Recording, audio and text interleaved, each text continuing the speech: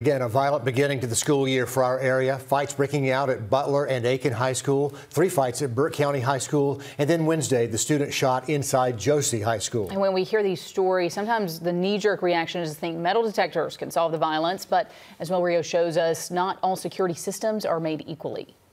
Josey High School shooting is now another data point for the increasing violence in schools across the country. So, what's the solution for school districts to reduce or prevent these problems? It's an AI based weapons detection system. Evolv Technology is one of the largest companies implementing their detectors in schools across the country, including Spartanburg, Atlanta Public Schools, and Clayton County Schools. Something looks like a part or piece of a mass casualty weapon. The system will alert it puts a red bounding box around the area of the body or the belonging of that entrant that needs to be checked.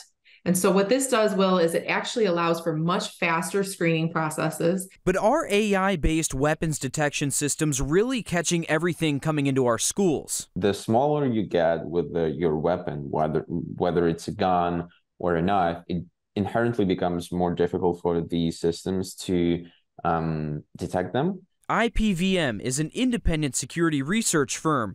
Their report shows systems like Evolv and other AI weapons detection systems often don't catch compact handguns and small knives. When security works, it's because of people. When security fails, it's because of people.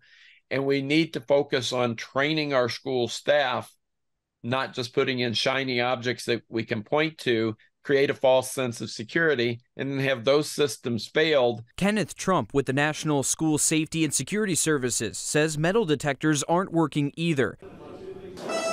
Machines often don't work 100% of the time and aren't manned 24 7. It's a wicked problem. It's very complex, uh, and there is no single solution. In Augusta, Will Rio on your side.